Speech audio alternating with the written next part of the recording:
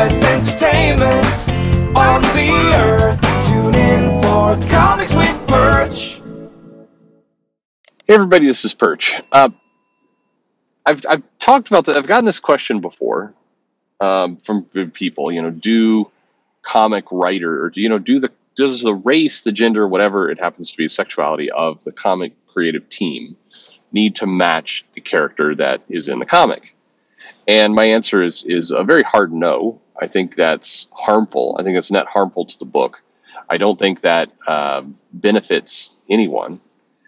And I think that it's it's one of these traps that's going on in comics that almost ensures that comics will not be diverse. And you may say, oh, well, wait a minute, that, hang on, what that take is confusing to me. Well, you know, right now there's a lot of companies talking about diversity inclusion. They have various uh, efforts going on there. And I saw, uh, uh, you know, kind of a statement from one company about how they're handling diversity and inclusion. And it was, it, it got me thinking because I think that that company had it right. And it was, uh, you know, diversity is very important to the company. It's basically a statement. Uh, we want to hire people with diverse uh, backgrounds, races, genders, uh, religious opinions, and thoughts. Okay, so they want. First of all, that was kind of what perked my ears up a little bit because in many cases, um, the word thoughts doesn't appear. So that was a, that was an interesting addition there. Okay, so diversity. So we do this because we want a well-rounded, complex set of products that look at all views. That is what makes us stronger. Okay, that makes sense too. I, I think that if you are doing, I've I've often gone, uh, I've, I've talked to people and we've had this conversation around diversity, and I've asked the question, you know, why why do diversity? And I often get I get lots of different answers, but there's kind of two answers that that kind of rise to the surface. And I, the first is, you know, because different because diversity gives us stronger products because we get more points of view. That's answer number one. That's a pretty good answer. Answer number two is because that's more fair. And in my mind, that's a bad answer because that's an answer that indicates you don't really need you don't you don't know what to do with the diversity once you have it. So this company kind of continues and says, uh, however, we will not engage diversity at the cost of skill. Now that's a, a, a, statement that feels like one that can get you know attacked on uh, late night cable news or wherever it happens to be. But basically, what it's saying there is we want diversity, and we're assuming that you know by grabbing people from all walks of life and you know races and backgrounds, etc., we're assuming that we can recruit top talent. Still checking all those boxes, still still going to those different groups, we believe we can still get top people if we can't get top people, there's no point in checking the box. If we're going to get somebody who cannot do the job, then we're setting somebody up to fail. And I would agree with that. I think, uh, look, I, there's at this point, um, it's not like there's, uh, you know, you, you want to have somebody from, oh, I don't know, from uh, Portugal in your, your company. You want somebody with that background. But as it turns out, there's only one person that graduated college in Portugal. Only one person. And so all the companies have to fight over that one person. No, of course not. There's a, a large group of people. But if you're recruiting your this position in, say, Nebraska, your odds of uh, you know finding a highly skilled person from Portugal are probably harder than if you are recruiting in, say, Portugal or or a neighboring country. And and so you know you have to be smart about how you're doing it. You, and, but if but if you are trying to get talent and you consistently find that your company cannot recruit talent that is well skilled trained you know has a lot of, of of the skills you need i think you do have to start looking at the company and saying i think we're doing something wrong because we're not attracting top talent regardless of, of any of the diversity aspects, we're not attracting top talent. I think we have a different problem here. We probably should solve that before we start to tackle the diversity aspect because we do need top talent here. Now, maybe that means we need to go train people in the field if you have something that's highly specialized. But if we're talking about comics, no, there's there's writers everywhere, every race, every religion, every gender, every sexuality, every location. As I say, every uh, you know type of thought. There are writers out there. They exist. It is it, there is not a shortage of writers based on background.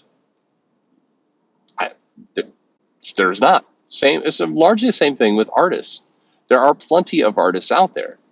So the question should become: Are we recruiting the best talent?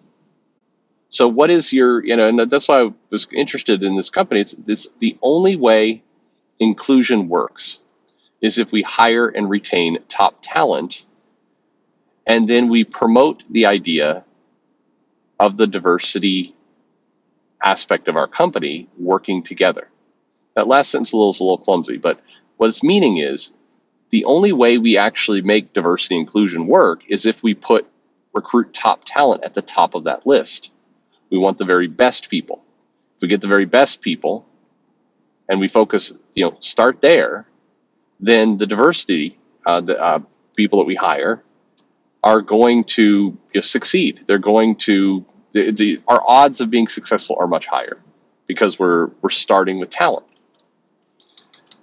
I think, uh, and I know uh, there's unfortunately because this entire topic has been politicized and and people are you know it, it's a trigger word for a lot of people.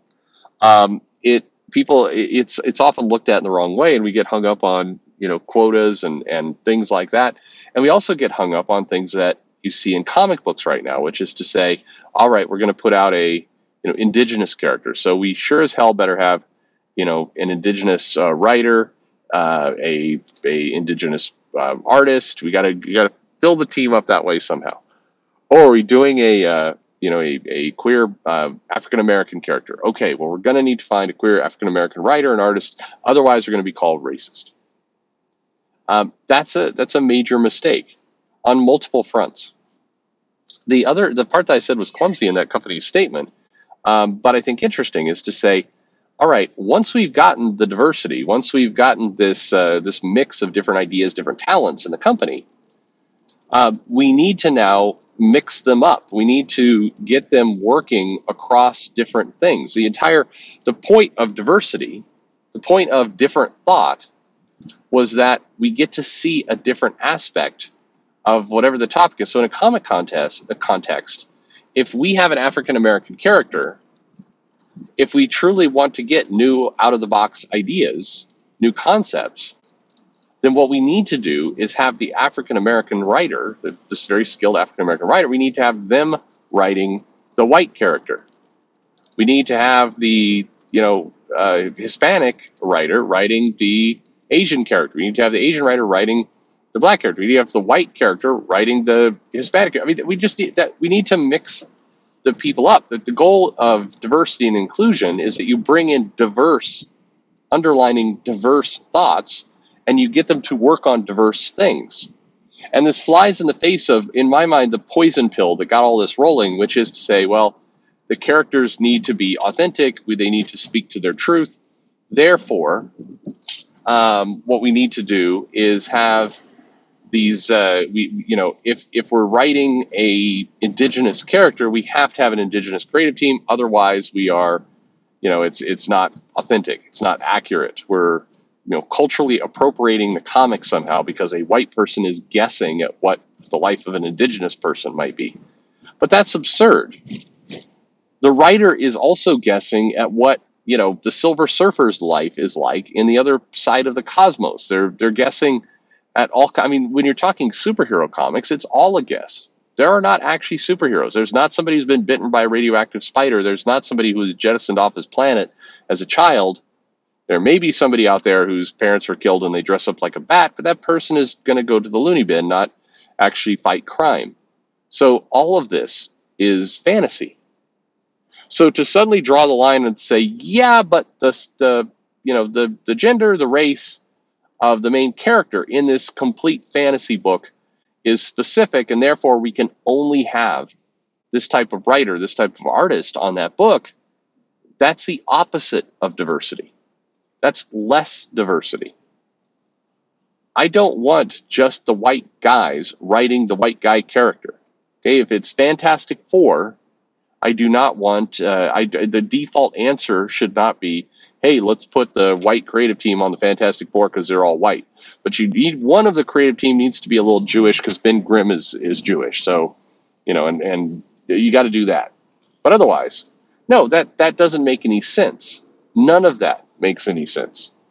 And you and you know you may wind up, by the way, with a white writer or, or white creative team. You may wind up you're doing a cyborg book with a black writer. You may wind up with that because that's the best person to do the job because that's where the skill lies. But again, that's why you preference the talent. That's why you preference the skill above all else. That's where you begin. But if you're going to have a program of diversity inclusion, you got to take that extra step and that you do need to cross pollinate your diversity. You need to mix it up a little bit. Otherwise, you're not actually doing what you said you were going to do. The inclusion part of we're going to include people from diverse areas into new fields to get a better result, that inclusion statement infers that you're going to try and mix people in. Uh, this is uh, it, it's it's a weirdly broken system. It's like somebody read the idea and then just stayed with the first part of the of the, of the sentence. Like, okay, we need diversity. If we need diversity, then definitely we got to keep the, the black people, the black people, the, the queer people, the queer people. We got to, you know. But it's like, did you? But wait a minute. You said you wanted diversity. That's not diversity. That's that's the the challenge that we have here, and and it feels to me like companies are, are a bit starting to wake up to that. Um, I think that it, they, they kind of have to if they want to be successful with this. I, I mean, the, the uh, it's going to take a few more years, but it's remarkable how many of the tolerance programs, how many of the diversity programs are a weird backdoor into segregation rather than actually inclusion the second you start saying we got to keep these groups with these groups and uh, the only way to be authentic, that's that's the path to madness. It doesn't work. But uh, but anyway, uh, it was, it was food for thought. Let me know where I've gone wrong. I'm sure many of you will. and thanks for listening.